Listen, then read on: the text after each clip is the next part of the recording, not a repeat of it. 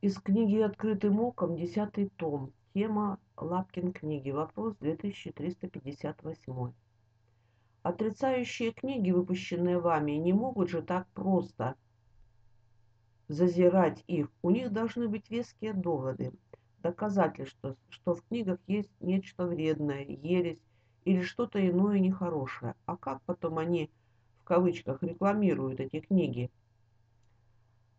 Отвечает Игнатий Тихонович Лапкин. Из Ишима приехала девушка Валя Стоянова, которая раньше несколько лет была в нашем лагере, и вот что она рассказала всем, когда мы вышли из храма после утреннего богослужения 30 июля 2004 года. Было так, что владыка Евтихий уехал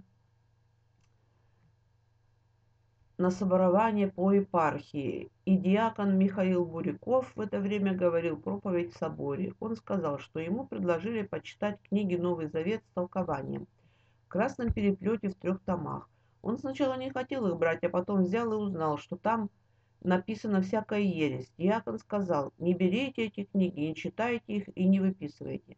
Владыка же, когда приехал, то ему один человек про это рассказал, и владыка потом говорил проповедь наоборот. Берите эти книги, там нет ничего против. Теперь их читают и даже занятия по этим книгам проводят. Диакон сей есть наш зять, а сын его Никодим и дочь Анна мои крестники, недопускаемые их родителями до меня. Приехала еще одна его дочь Лиза, и с ней я отправляю крестников в подарок все 16 книг, вышедшие у нас в общине за два с половиной года. Стоимость общая книг 1590 рублей, объем страниц 10500. Просил сохранить их, чтобы родители не отняли книги и не сожгли, что было, что уже было с разрозненными материалами, посланными мною им раньше.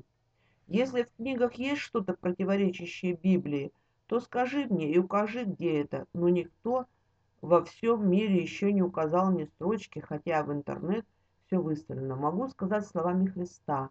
Иоанна 18:23. Иисус отвечал ему, если я сказал худо, покажи, что худо. А если хорошо, что ты бьешь меня? Не заботься о завтрашнем дне, все сосуды елеем заполнить, что муки только с горстку на дне, и шумят устрашающие волны, если был бы один да здоров, без малюток опухших, без хлеба, Не согреет печурка без дров, крик голодных восходит до неба. Боже мой, захожу я домой, он уж жду, спотыкаюсь голодный. Наше бегство случилось зимой, нас блокада накрыла в субботу. Молча встали, не праздничный стол, стол, распродали посуду, одежду — над прошедшим осиновый кол в эпитафии дымной надежда. Призываю усердно молиться, двери плотно обидом закрыть. И, о чудо, засохшие листья орошает без влаги орык. Мои страхи, заботы и горе полагаю к подножью креста.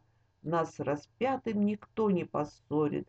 Без Христа я смертельно устал — Сколько тех, кто ложится без веры, Не молился нигде и никак, Безнадежность с умой безразмерной Им не светит на ржавый пятак Одиноких мужчин возле женщин И покинутых властью детей Обогреть бы их верой, не сжечь бы, Не закрыть перед ними дверей. Позаботься о завтрашнем вечном, Где земное в укор постыдит Крест любовью — возложим на плечи, Бог подаст нам на хлеб и воды.